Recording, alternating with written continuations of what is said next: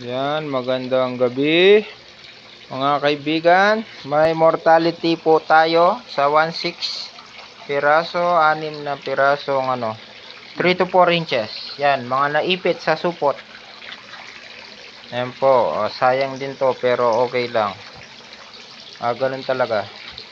Ayan o, oh, sisigla nila.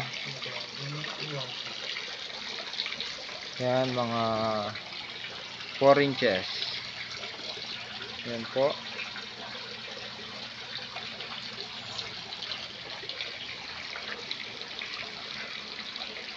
Yan.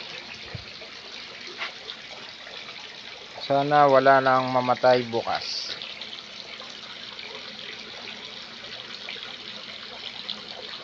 Yung tumitigil naman kasi talaga Hmm.